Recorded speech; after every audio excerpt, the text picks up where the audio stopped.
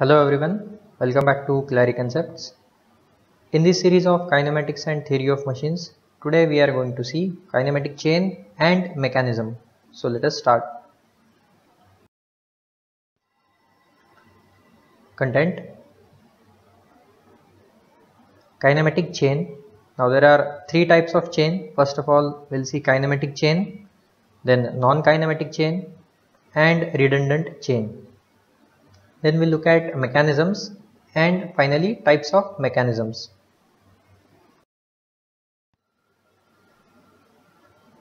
Kinematic chain. A kinematic chain may be defined as an assembly of links in which the relative motion of the links is possible. Number one thing and the motion of each relative to the others is definite. Now there are two things. First is relative motion should be there between all the links.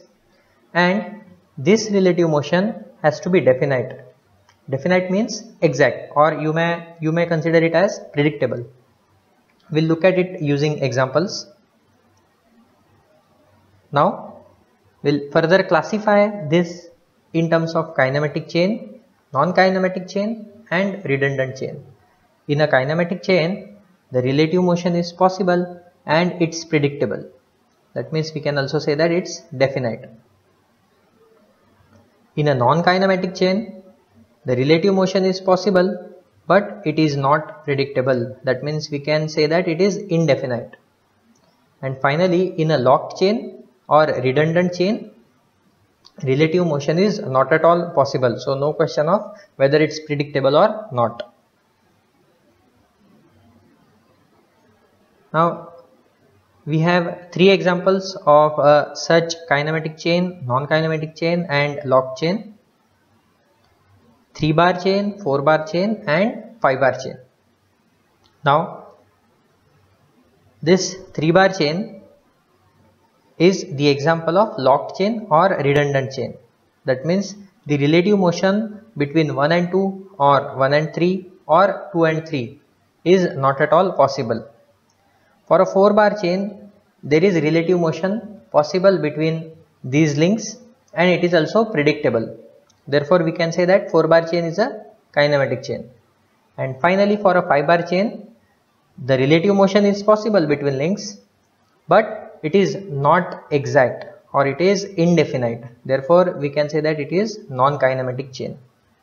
Now I told you this orally that this is a lock chain, this is kinematic chain and this 5 bar chain is a non-kinematic chain. Now we need to find out is there any mathematical equation using which we can find out which type of kinematic chain is classified as a non-kinematic chain or a redundant chain. We'll see that in the next slide. Now let us say L is number of binary links, P is number of lower pairs, J is number of binary joints and H is number of higher pairs. All these notations we were using this till now. Now there are two equations. First one is L is equal to 2P minus 4 and second one is J is equal to 3 into L by 2 minus 2. Now, whenever we apply this equation to any of the chain, then we need to find out if LHS is greater than RHS, then the chain will be called as locked chain. This will be the LHS for equation number 1 and this will be LHS for equation number 2. If LHS is equal to RHS, then it is a kinematic chain. If LHS is less than RHS, then the chain is known as non-kinematic chain. So we'll straight away apply this on the examples. So first of all we'll take 3 bar chain. So L is number of links. How many links do we have here? 3. Pairs also 3 and joints number of binary joints of course also 3 here, here and here. So first equation is L is equal to 2p minus 4. L is equal to 3, 2 into 3 minus 4 we'll get it as 2. So LHS is greater than RHS for the first equation. For the second one, we'll put down the values and also here we are getting LHS is greater than RHS. So from these two equation we came to the conclusion that this chain is a locked chain. That means no relative motion is possible between 1 and 2, 1 and 3 or 2 and 3. Right? We'll take the next example of 4 bar chain. Number of links 4 number of pairs also 4 number of joints also 4 you can see. Put into the equation we'll get LHS is equal to RHS exactly 4 is equal to 4 for the first equation. For the second equation also 4 is equal to 4 that means LHS is equal to RHS so therefore 4 bar chain is a kinematic chain. That means the relative motion is present and it's also definite. Now we'll go to the 5 bar chain. L is equal to 5 P is equal to 5 and J is equal to also 5 put into the equations all these values we will get LHS is less than RHS 5 and 6 you can see for the second equation also 5 is less than 5.5 so LHS is also less than RHS so from these two we conclude that 5 bar chain is a non-kinematic chain. Non-kinematic chain means I will again remind you that relative motion is present between the links but it is not definite. Definite means it is not exact or you may say it is not predictable. Right?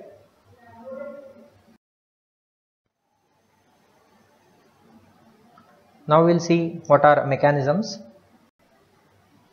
So when one of the links of a kinematic chain is fixed, then we will say that it is a mechanism. Remember kinematic chain, it's not non-kinematic chain or neither redundant chain. It has to be a kinematic chain and one of when one of the link is fixed to the ground that means it is not possible to move one of the link then we will say that it's a mechanism. Now we will see what are the different types of mechanisms. So first one is simple mechanism. Whenever in a mechanism there are only four links then we will say that it is a simple mechanism. These are the examples. The very simple example is the slider crank mechanism. We can count there are four links. A fixed link or a frame then a crank a connecting rod and a slider. So these are the four links another example is four bar mechanism itself so name indicates that there are four links. One is fixed link or a frame. Second is crank. Then coupler and the output link or we can also say that it's a lever in this case.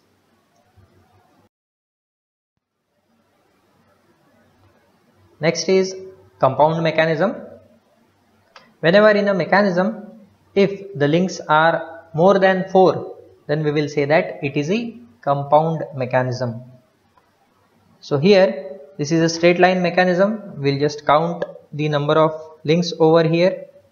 You can see there are two green links and four red links. So 2 plus 4 6. One link is this blue one seventh and the other one is fixed link. So this is the 8 link. It is more than 4 therefore it comes under the category of compound mechanism. Again in this mechanism first we will count out the number of links the fixed link or a frame. Second blue. Third green. Fourth red. Fifth orange. And sixth yellow. So this is a six link mechanism. More than four therefore it's compound mechanism. Simple.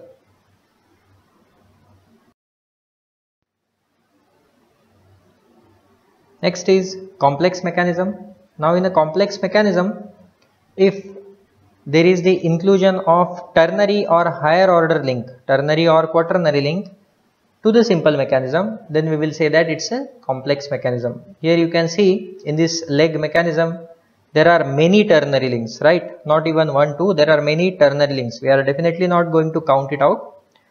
If at all there is a presence of ternary or higher order link we'll say that it's a complex mechanism here also we have a ternary link which is definitely a fixed link in this case right? So therefore it also comes under the category of complex mechanism.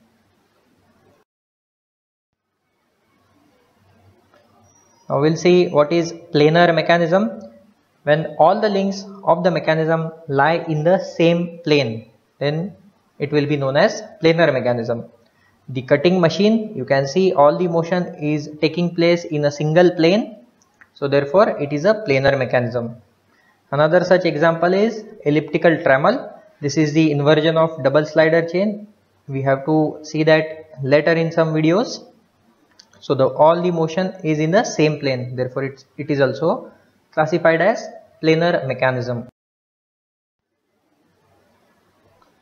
Finally we'll see special mechanism.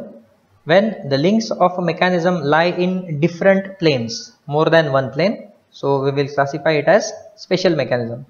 You can see in this example all the motions are not in a single plane. We are using more than one plane. Therefore this is an example of special mechanism. Here also same we are using different planes. The object is handled in more than one plane.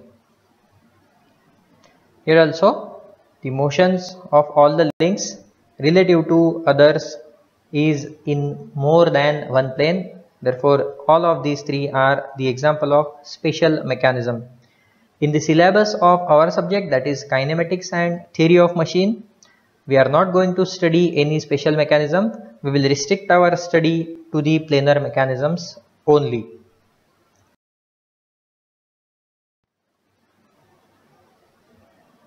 Thanks for watching the video. Consider subscribing our channel if you like this video.